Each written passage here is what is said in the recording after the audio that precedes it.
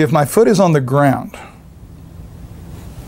up and out of the foot when it's not restrained, and then making it restrained, this arthrogeometric interdependency, which is a term that I probably should have brought up when we talked about joint motion, but I save it, I reserve it for when we talk about closed chains, because it's actually a feature of both open and closed chains, but it makes, it's a unique feature of, of open chains that creates a version of, well, you'll see when we get there. Um, but, so think about this.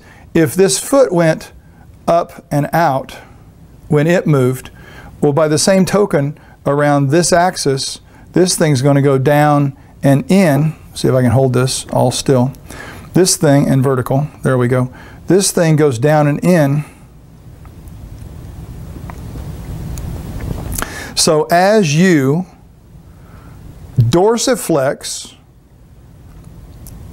eccentrically, right, with your plantar flexors, this guy, instead of going up and out, this thing is going to go forward and in around that same axis. Now, why does that matter? Well, as you do something, bending your knee and dorsiflexing at the same time. And it's, it's difficult, I know, for people to think dorsiflexion without thinking dorsiflexors. But we got to think that you're probably standing and you're probably lowering yourself.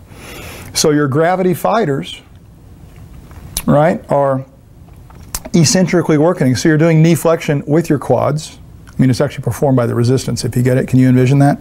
So I'm standing here, and there's something else that of can, course, can, of course, alter this relationship, it is the simple fact that your foot, very commonly, when you're doing this stuff, your foot flattens out also.